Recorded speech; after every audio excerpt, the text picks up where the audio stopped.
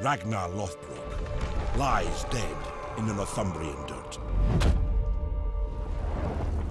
Veins choked with Anglo-Saxon wrath and Viper's venom. Revenge was swift. His sons laid waste to the British Isles, splintering the land and slaughtering all who opposed them.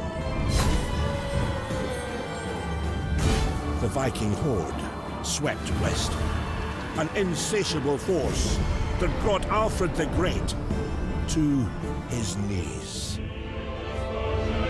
But some men can only be pushed so far.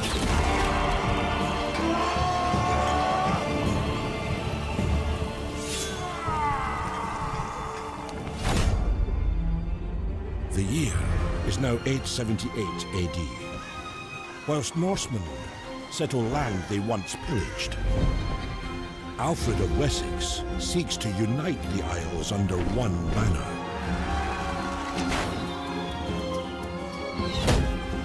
But here stand a new wave of the ambitious and hungry, ready to stake their claim to Britannia.